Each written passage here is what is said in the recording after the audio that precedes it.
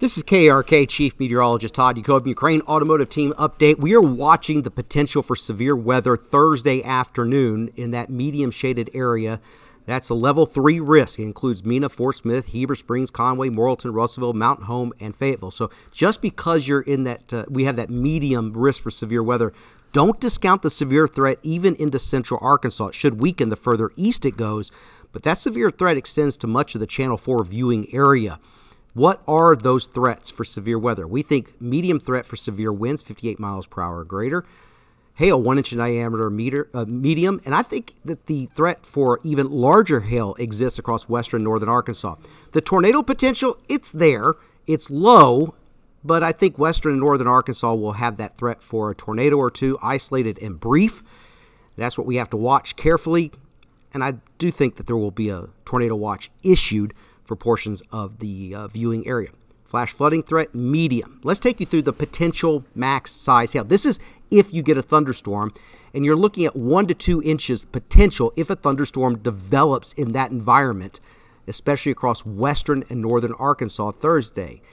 Notice by 9 o'clock that really comes down. That's because the storms will most likely weaken, the hail potential and the severe potential will start to decrease as we go towards sunset and beyond, and it turns into a heavy rainmaker, and that severe threat goes away. Forecast track, timing this out, showers in the morning, a 20% chance, but look at 3.30, 4 o'clock in the afternoon.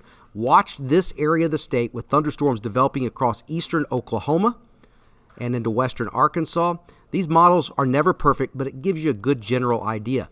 Look at what happens by 7 o'clock. I think what you're looking at here is a threat for severe winds along the leading edge of this early in the evening, late afternoon, early evening, from 4 to 7 in central Arkansas. And once that line passes you by, the severe threat should go down and the heavy rain threat goes up with isolated instances of flash flooding. By 11 o'clock, I think those severe thunderstorms and that threat goes towards the east. And why we can't discount a severe thunderstorm here uh, mostly heavy rain, thunder, and lightning, kind of noisy. By 3 a.m., just plain old rain. By early Friday morning, those rain chances will begin to decrease. Uh, and there's the excessive rainfall. There's a low risk for it. So, isolated instances of flash flooding. We're going to keep an eye on the situation for you. We are here for you. Download that Arkansas Storm Team app, set up those warning notifications, and we'll be updating the Arkansas Storm Team app throughout the day with videos to give you the newest information.